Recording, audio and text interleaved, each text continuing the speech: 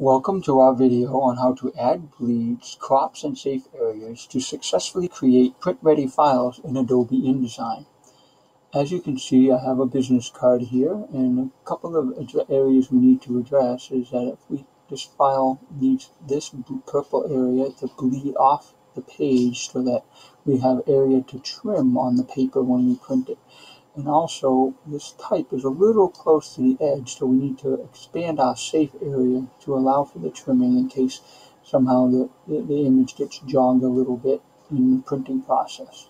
So the easiest way to do that is to go to File, Document Setup. And here's your 3.5 by 2 business card size. We can change the margins, which I'll show you what that is in a minute, to 0.125, which is an eighth of an inch. And we'll also add our bleed of 0.2125, which is an eighth of an inch. So we'll have a bleed of an eighth of an inch. We'll say OK to that. And what that did was it added a bleed area, which is this area. So now I can take the area that I need to bleed and pull it out beyond the page So this is going to be my trim off area right here.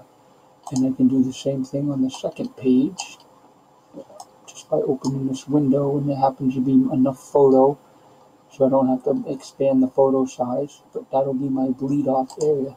Now the other thing I wanted to address was this type being really close to the edge and that would be done by changing this margin and because we can adjust it, I'm going to go to margins and columns. And we like, on business cards, we like a safe zone of about an eighth of an inch on business cards and probably a quarter of an inch on postcards and bigger. Um, you can say okay to that. Now it adjusted my area. And I can move this, snap to guides. And now it changed my safe area. It moved it further away from the edge because it was much closer and now this is in a, safer area. The only thing left to do is, is make a print ready PDF. So what we do is go to export to PDF. I like to add the edit the print ready file and then hit save. And then trick is is to make it a high quality print and then go to marks and bleeds, include crop marks so that we know where to trim it. Make sure that your offset on the crop box is at least an eighth of an inch. And then because we added the bleed in the job, we can click on use document bleed, but if we didn't, you could easily, you could still pull bleed without adding it there.